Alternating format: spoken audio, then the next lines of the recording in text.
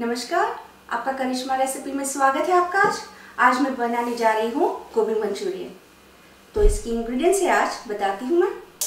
मैंने एक बड़ा सा शिमला मिर्च मेरे लिया और बारीक कटा हुआ। एक मैंने हरी प्याज ली हुई है, बारीक कटी हुई।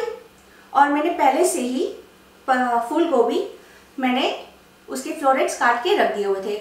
और उसे गर्म पानी में पाँच मिनट तक मैंने उबाले थे। और थोड़ा सा नमक डाला। तो जब हम बैटर में मिक्स करेंगे तो इसका स्वाद थोड़ा अच्छा और कुरकुरा आएगा। तो मैंने बैटर के लिए लिया है चावल का आटा। चावल के आटे से मैंने इसलिए लिया है कि आप मैदा भी लगा सकते हैं और उसके साथ कॉर्नफ्लावर भी डाल सकते हैं। लेकिन मैंने सिर्फ़ राइस फ्लावर लिया है, जैसे आपकी इच्छा हो। तो मैंने स्वाद अनुसार नमक लिया है, हरा धनिया सोया सॉस चिली सॉस और दो मीडियम साइज़ की बारीक कटी हुई मिर्च ली है। उसमें हम ऐड करेंगे अदरक, लहसुन का पेस्ट सेजवान सॉस और कुछ मिर्च मसाले हमने अलग से लिए हुए हैं। जब मैं मिक्स करूँगी तो मैं आपको बता दूँगी। और काली मिर्च।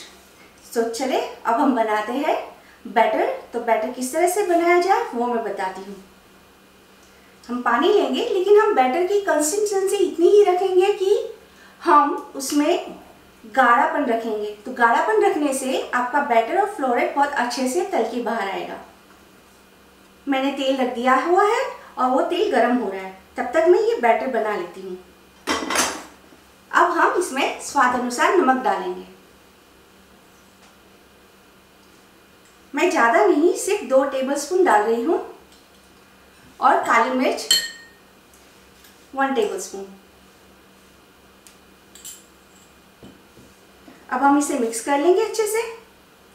जैसे मैंने कहा कि आप मैदा और कॉर्नफ्लावर भी ऐड कर सकते हैं आपके लिए। उसमें आपको चावल के आटे की ज़रूरत नहीं है। और उसकी कंसिस्टेंसी आप सेम ही रखें।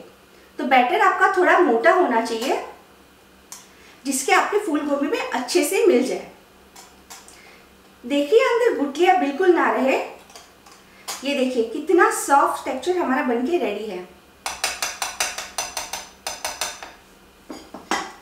तेल साइड में गर्म हो चुका है हमारा। अब इस मैं एक ही बारी में सारे फ्लोरेज डाल दूँगी।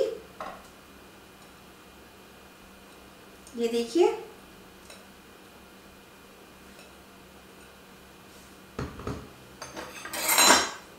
आप अगर चाहे तो आप हाथ से भी डाल सकते हैं, बना के, या फिर आप ऐसे चम्मच से उठा के भी रख सकते हैं। ये देखिए। हमें ये चाहिए। और मैंने पहले से ही ये फ्लोरेट्स काट के गर्म पानी में पाँच मिनट सिर्फ़ उबाल के रखे थे थोड़ा सा नमक डाल के। अगर उसके अंदर कोई कीटाणु है, जीवाणु है तो वो ख़त्म हो जाएँगे। फिर मैंने इसे अच्छे से ड्रेन कर लिया था और उसके बाद मैंने एक बॉल में निकाल लिया। आप अपने फ्लोरेट्स डाल लीजिए। जैसे कि हम कभी सोचते हैं कि घर पे आने के बाद हम कैसे जल्दी जल्दी कुछ भूख लगे तो कैसे हम जल्दी जल्दी कुछ बनाए इजी सा कुछ। तो ये पूरी रेसिपी सिर्फ़ 10 मिनट में तैयार हो जाती है। ये देखिए। देखिए, आपने ये बिल्कुल नहीं चिपके। इसे आप पलट भी सकते हो बड़े आसानी से। और ना ही ये जले है। अपना टाइम लीजिए आराम से और बनाइए और ये रेसिपी ज़रूर एंजॉय कीजिएगा। ये बहुत बहुत ही इजी रेसिपी है। कभी कभी बच्चे खाते नहीं है इन्हें, क्योंकि ये फूल गोभी है, उन्हें पसंद नहीं होती है कभी कभी। तो आप जैसे बनाना चाहे, और उन्हें ये स्वाद, क्योंकि कैचअप बच्चों का हमेशा फेवरेट रहा है और हमेशा रहेगा। तो आप जब कैचअप ऐड करते हो तो आप उसमें सिजवान सॉस ना डालें बच्चों के लिए, क्योंकि काफ़ी तीखा हो जाता है।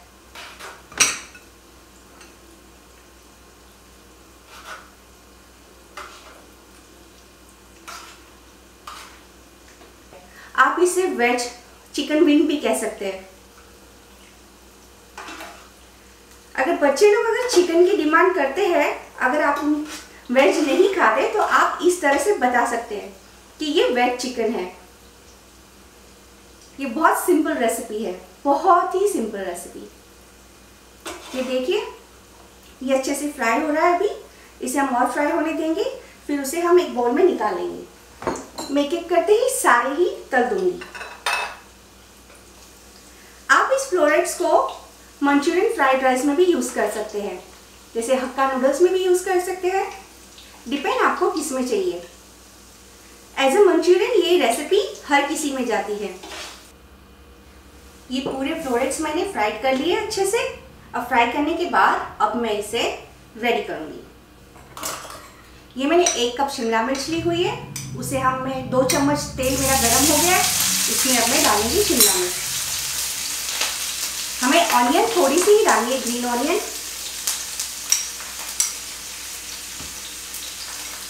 मैंने एक बड़ा चम्मच गार्लिक लिया हुआ है ड्राई गार्लिक एक बड़ा चम्मच अदरक और एक हाफ़ टेबल स्पून मैंने लहसुन का पेस्ट। इसमें मैं डालूँगी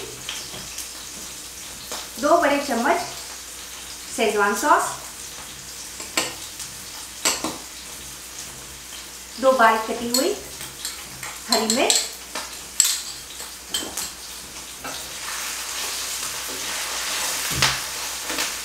आप फ्लेम लो मीडियम में ही रखिए और इसे सॉटे करते रहिए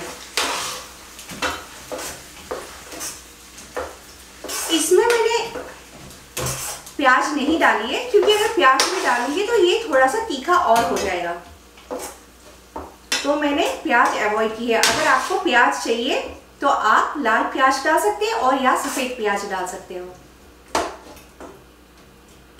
और इसमें मैंने एक टेबलस्पून गरम मसाला, एक टेबलस्पून हल्दी, एक टेबलस्पून धनिया पाउडर और दो टेबलस्पून लाल मिर्च ली हुई है।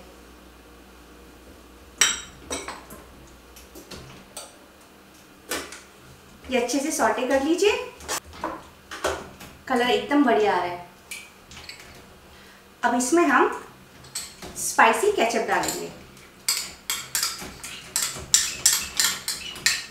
अगर आप बच्चों के लिए ये डिश बना रहे हैं तो स्पाइसी केचप बिल्कुल ना डालिएगा। अगर उन्हें स्पाइसी केचप पसंद है तो आप डाल सकते हैं। ये मैंने टोमेटो केचप लिया हुआ है सिर्फ़ मैंने एक मीडियम साइज़ का बॉल इसीलिए लिया है, क्योंकि उसका जो कलर और जो स्वाद आता है, ये मेन है इसमें डालने के लिए। अब सोया सॉस डालेंगे। हरा धनिया, और जैसे मैंने कहा था, ये हरी प्याज हम आखिर में थोड़ी बचा के रखेंगे डेकोरेशन के लिए। हम अब एक टेबलस्पून काली मिर्च डालेंगे। और ये हमारी वन टेबल स्पून स्पून है, लेकिन हम इसमें से हाफ़ टेबल स्पून नमक डालेंगे। ये अच्छे से मिक्स कर लीजिए। ये देखिए।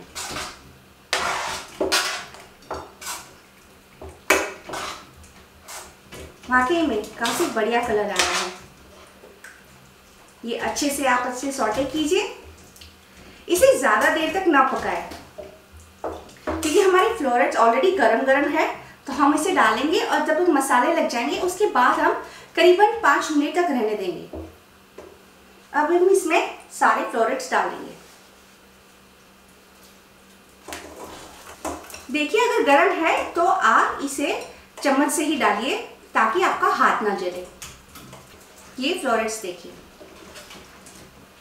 ये आप करीबन 500 ग्राम तक की फूल गोभी है। ये आराम से आपके पाँच से छः लोगों के मेंबर में आ सकती है। ये देखिए। अगर बच्चे लोग अगर ज़्यादा कैचअप पसंद कर सकते हैं तो आप इसमें कैचअप ऐड कर सकते हैं।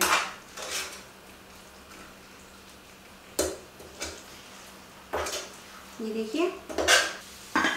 सो हम गोभी मंचूरियन, हम अब डेकोरेशन करेंगे।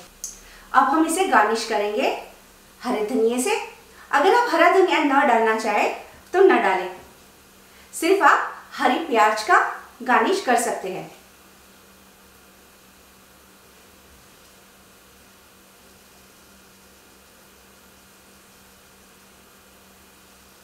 मुझे हरा धनिया पसंद है, इसीलिए मैं हरे धनिया का गार्निश कर रही हूँ।